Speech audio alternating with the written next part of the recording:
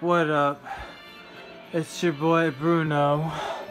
Playing today as your boy Ring Finger with the Mr. Biddybuggy and the leaf tires and the... Yeah, that's me right there.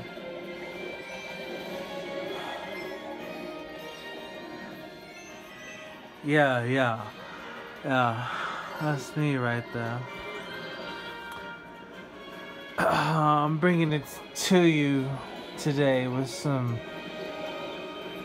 fine gameplay footage here. And, you know, uh, there's not really much to talk about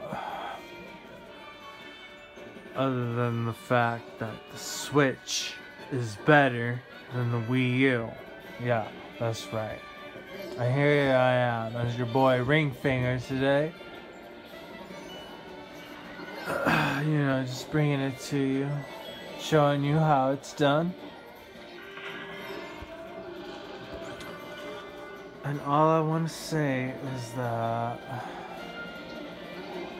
you know, the Wii U really fucked up. So I'm bringing you some gameplay some live gameplay commentary telling you on why the Wii U fucked up in comparison to the to the more polished version on the Mario Kart 8 Deluxe Switch version. Reason why number one why it fucked up fire hopping. That's right. Me playing as your ring finger boy today is going to tell you why Mario Kart 8 on the Wii U fucked up. And that's because fire hopping, which is a physics mechanic that allows you to go faster as you're bouncing after a boost. And that's just really fucked up. So it's like, it's about time I get a Switch. That's what I'm talking about. Me playing as your boy, Ring Finger. Hell yeah. Sc screw you, mayonnaise and Marty too.